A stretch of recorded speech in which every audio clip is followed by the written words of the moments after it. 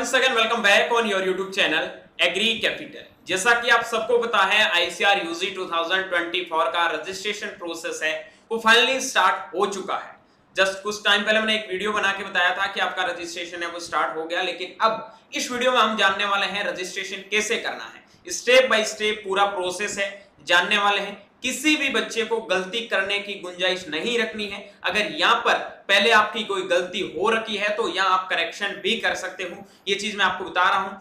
अगर आप गलती करते हो या फिर फिर बाद में बोलोगे, सर, हम क्या करें? तो फिर कुछ भी नहीं होने वाला।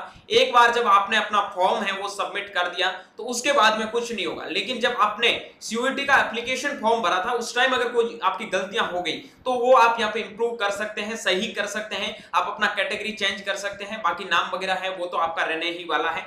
मैं बता दूँगा कौन कौन सी चीज़ें हैं, वो आप चेंज कर सकते हैं। ये सारी चीज़ें, सारे डिस्कस है, वो आज के इस वीडियो में करने वाले हैं। सो आपको पता है यार एग्री कैपिटल सबसे पहले एकदम ऑथेंटिक इंफॉर्मेशन आपको प्रोवाइड करवा रहा है। आप प्रीवियस वीडियो में जाके देख लेना, लोगों ने आपको पता नहीं क्या क्या डेट बोली थी। इतने डेट को ये चीज़ स्टार्ट होगी। हमेशा रजिस्ट्रेशन स्टार्ट कर रहे थे। एक ही डेट बताई थी 15 से लगाकर 20 अगस्त के बीच में आईसीआर का रजिस्ट्रेशन स्टार्ट होगा। कोई भी आप प्रीवियस वीडियो उठा के देख लेना, आज 19 अगस्त है 19 अगस्त को आईसीआर का रजिस्ट्रेशन है, वो स्टार्ट हो गया। और फिर बता देता हूँ कि ये 23 तारीख तक रजिस्ट्रेशन चलेगा। 30 तक आपका रैंक कार्ड आने की पूरी पॉसिबिलिटी है और फ़र्स्ट वीक ऑफ़ सितंबर में आपका काउंसलिंग है, वो स्टार्ट 100% हो जाएगा। ठीक है? ये तो थी हमारी बेसिक इंफॉर्मेशन फ़िलहाल चलते हैं। आपके पास में अगर मेल नहीं आया तो आपको क्या करना, उसके ऊपर भी चर्चा करेंगे। अब जैसे ही आप एप्लीकेंट लॉगिन पे जाओगे, एक मिनट। एप्लीकेंट लॉगिन में जाओगे तो ये इंटरफेस है, वो आपके सामने खुल के ओपन हो जाएगा। एक सेकंड ये इंटरफेस खुल के आपके सामने ओपन हो जाएगा। ठीक है? इसमें आपको क्या करना है कि आपको अपने आईडी पासवर्ड डालने ठीक है? अब आईडी ये इंटरफेस खुल के आपके सामने ओपन होगा। इसमें एक चीज़ लिखी है कि आप रजिस्ट्रेशन है वो 19 अगस्त से तेईस अगस्त तक कर सकते हैं, शाम बारह बजे से पहले पहले। आपको जो यूज़र नेम जैसे ही आप साइन इन के लिए जाओगे, आपको लॉगिन आईडी मिलेगी। लॉगिन आईडी में आपको जो एप्लीकेशन नंबर थे एनटीए के, वो डालने हैं और पासवर्ड के अंदर आपको मेल आया आईसीआर का। जिन बच्चों के पास में मेल नहीं आया है, वो थोड़ा वेट कर लो, या फिर जो आपका डेट ऑफ़ बर्थ था, वो डालना। डेट ऑफ़ बर्थ कैसे डालना है? किसी बच्चे का डेट ऑफ़ अब आपको पासवर्ड है, वो कैसे फिल करना है? यहाँ लिखा है कि डेट ऑफ़ बर्थ में फोर्टीन फोर टू ठीक है? तो उसमें आपको क्या करना नाइनटीन नाइनटी अब किसी का किसी बच्चे का यहाँ पर है ना बारवा बारवा महीना है, ठीक है? दसवां महीना है। तो यहाँ ज़ीरो फोर की जगह आपको वन ज़ीरो करना है, ठीक है? उसके बाद में वन, फोर जो आपका डेट है मतलब सबसे पहले आपको ईयर उसके बाद में मंथ उसके बाद में आपको डेट लगा के यहाँ सबमिट करोगे तो आपका आईडी पासवर्ड है, वो लॉगिन हो जाएँगे, ठीक है? लॉगिन होने के बाद में आपके सामने ये इंटरफेस खुल के, ये स्टेप आपके सामने खुल के ओपन होंगे, जिसको एक एक स्टेप को मैं अच्छे से समझा देता हूँ। इस बार मैं अच्छा क्या, आपको मेल पे ये सारे चीज़ें हैं, वो गाइडलाइन समझा भी दी है कि आपको कोई गलती नहीं करनी है। इसमें मैं सारी चीज़ें आपको बता देता हूँ। सबसे पहले आपको करना है एप्लीकेंट लॉगिन ठीक है? जैसे आप एप्लीकेंट लॉगिन करोगे तो ये इंटरफेस आपके सामने खुल के ओपन होगा या साइन इन कर लिया। लॉगिन आईडी पासवर्ड कैसे डालना, वो भी मैंने चीज़ आपको बता दी है, ठीक है? ये आपके सामने इंटरफेस खुल के ओपन होगा।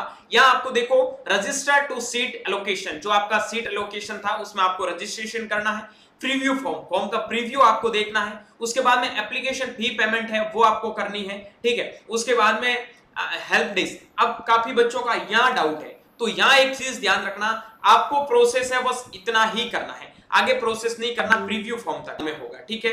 यहाँ देखना। अब आप जैसे ये करोगे ये आपके सामने खुल के ओपन होगा ये इनकम्प्लीट है क्योंकि अभी आपने कुछ फिल नहीं किया है। जैसे ही आप ये पूरे स्टेप फिल करोगे तो आपका कंप्लीट लिखा आएगा ठीक है?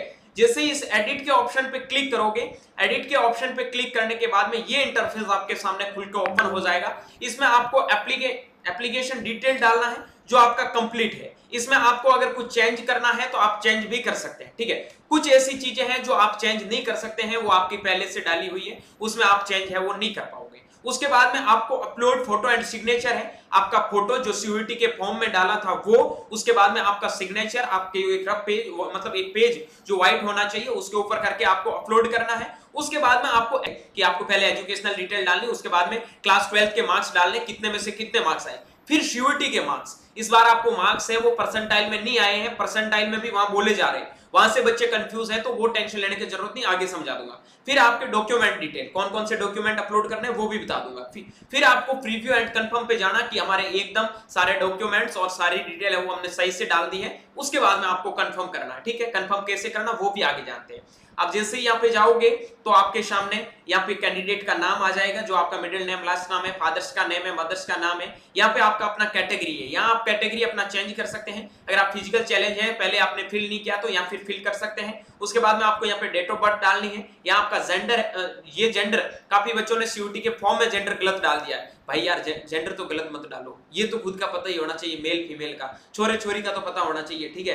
कि मैं छोरा हूँ, छोरी हूँ, ये गलती करते हो तो उससे बड़ी गलती क्या होती है तुम्हारी? ये चीज़ ध्यान रखना, ठीक है? ये डालने के बाद में इंडियन में, काफ़ी लोग है, वो कंट्री चेंज कर देते हैं। तो इंडियन डालना है, ठीक है? उसके बाद में आपको क्या करना है, आपके गार्जियंस के मोबाइल नंबर डालने आपके एप्लीकेशन नंबर डालने हैं, ठीक है? सॉरी एप्लीकेट ये मोबाइल नंबर डालने यहाँ पे। मोबाइल नंबर जो अपने एनटीए के फॉर्म फिल करते टाइम में दिया था वही डालने हैं। उसके बाद में ईमेल आईडी डालना है। उसके बाद में आपके फादर्स का ऑक्यूपेशन क्या है, वो डालना है। उसके बाद में फादर्स का क्वालिफिकेशन पापा पढ़े हुए हैं, नहीं पढ़े हुए हैं, वो सारी चीज़ें फिल करनी है। उसके बाद में फैमिली का इनकम कितना है? एक साल का एक लाख रुपए आ रहा, दो लाख रुपए आ रहा, वो फिल करना है, ठीक है? उसके बाद में मम्मी का ऑक्यूपेशन मम्मी का क्वालिफिकेशन उसके बाद में आपका कंट्री है, आपके अल्टरनेट मोबाइल नंबर डालने अल्टरनेट ईमेल जो आपका ईमेल वहाँ दिया, उसके अलावा एक ऐसा ईमेल जो आपके पास में है, या आपके पेरेंट्स का, यहाँ पे ईमेल और यहाँ पे पासवर्ड डाल सकते हैं, आपका कौन सा स्टेट है, वो आपको यहाँ पे स्टेट चूज़ करना है। उसके बाद में आर यू कश्मीरी माइग्रेंट यानी कि आप कश्मीर से हो तो आपको यस करना, वरना आपको नो रहना है।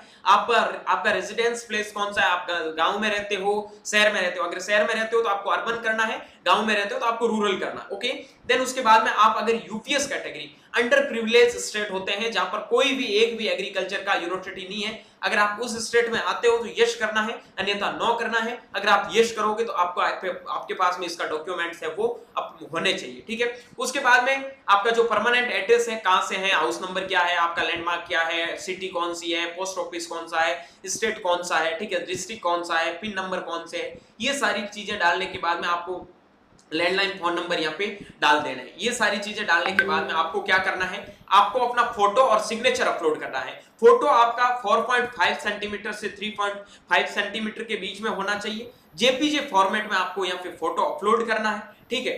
जो आपका 100 केबी से कम होना चाहिए 100 केबी से ज़्यादा नहीं होना चाहिए। सेम चीज़ फॉलो करनी है आपको सिग्नेचर पे ओके इसके बाद में आपको सेव एंड प्रोसीड करना है। सेव एंड प्रोसीड आप करोगे, तभी आगे जाओगे, ठीक है? आप सीधा चले जाओगे एजुकेशनल डिटेल पे, नहीं जा पाओगे। उसके बाद में आपको यहाँ पे एजुकेशनल डिटेल यानी कि टेंथ आपने कौन से बोर्ड से की है, किस ईयर में पास की है, ठीक है? स्कूल कॉलेज का नाम क्या था? मार्क्स कितने आए थे? परसेंटेज में मार्क्स थे? सीजीपीए में मार्क्स थे? उसके बाद में आपके कितने मार्क्स थे? ये सारी चीज़ें डाल दी। यहाँ आपको रोल नंबर डालने कि आपके टेंथ में रोल नंबर क्या थे? ट्वेल्थ में कितने मार्क्स आए थे? क्या क्या रोल नंबर थे? ये डाल दिया। उसके बाद में आपको सेवन प्रोसीड करना है ओके बहुत इंपॉर्टेंट इन्फॉर्मेशन आपको और बता देता हूँ।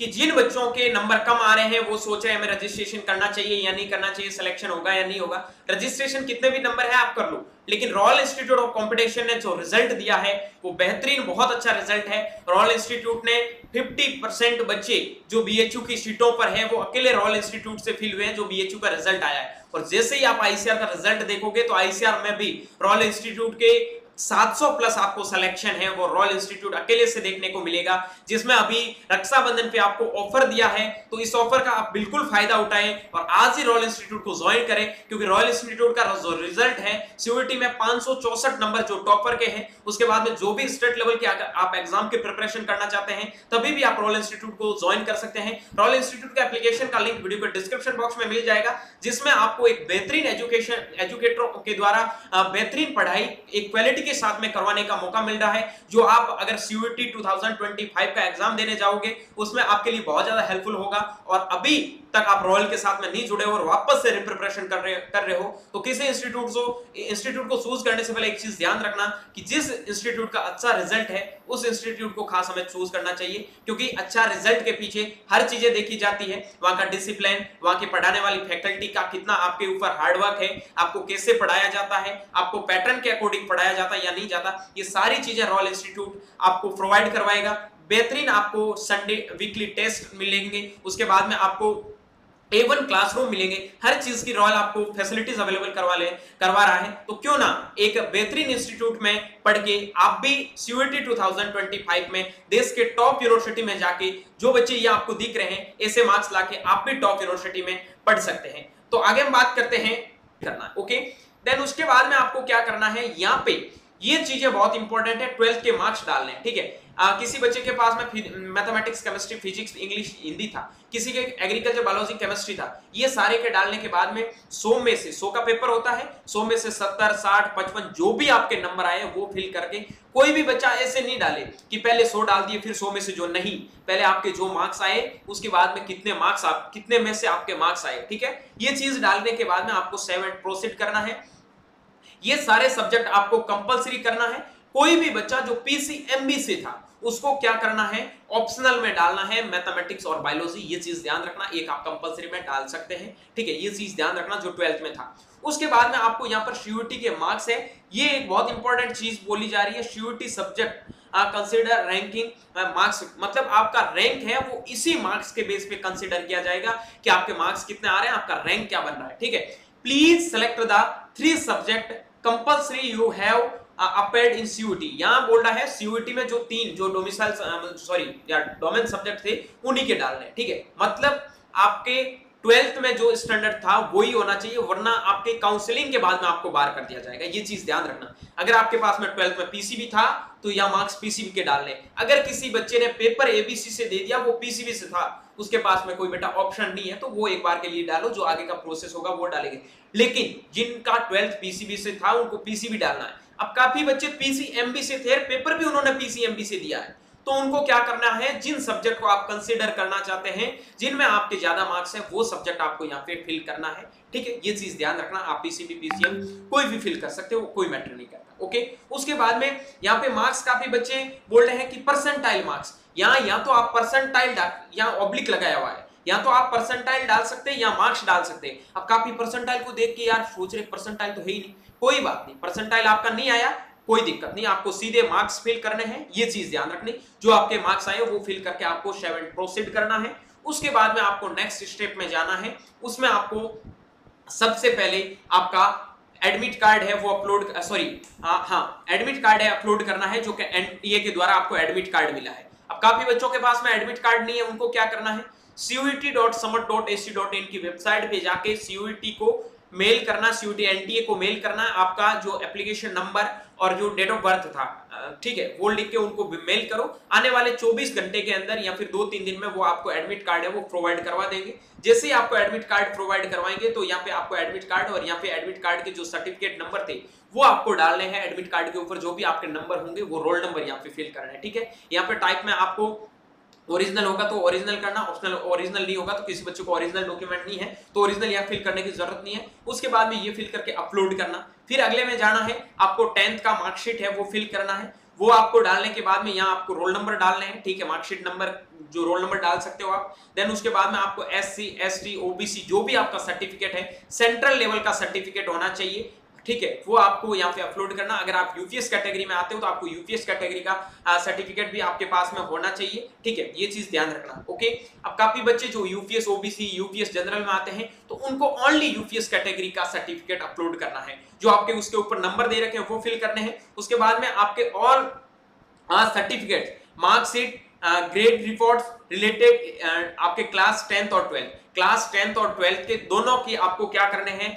जो मार्कशीट थे काफ़ी बच्चों के मार्कशीट होते हैं उनके साथ में जो आपका आ, मतलब ग्रेड कार्ड आता अलग होता है ठीक है मार्कशीट के साथ में मार्कशीट के आ, मतलब दो दो में होता है ठीक है। तो उनको क्या करना है पीडीएफ बनानी चाहे चार पेज की पीडीएफ हो चाहे दो पेज हो तो दो की पीडीएफ बनानी है।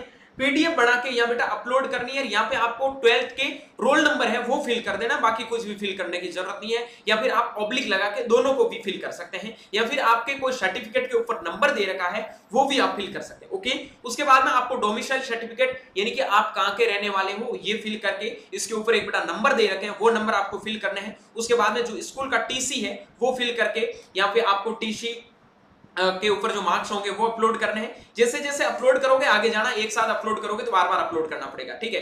ट्रांसफ़र सर्टिफिकेट टीसी हो गया, करेक्टर सर्टिफिकेट आपका चरित्र प्रमाण पत्र होगा, जो स्कूल वाले देते हैं, उनको क्या करना ये सारे के सारे पीडीएफ फॉर्म में अपलोड करने अपलोड करके आगे जाना है। उसके बाद में आपको बैंक की कॉपी यहाँ पे अपलोड करनी है। बैंक पासबुक, जो भी आपके खुद की है तो खुद की, पापा की है तो पापा की एक का, जो बैंक का पासबुक है, वो यहाँ पे आपको अपलोड कर देना है। या फिर, अगर आपके पास में बैंक पासबुक नहीं है तो आप क्या कर सकते हो?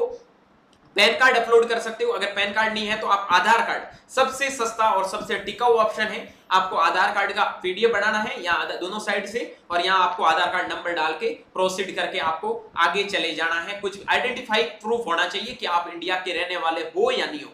ये चीज़ करने के बाद में आपको जाना अगले में। जैसे अगले में जाओगे तो आपको क्या करना है? फॉर्म को सबमिट करना है। फॉर्म सबमिट करोगे तो आपके सामने ये आप प्रिंट का ऑप्शन आएगा।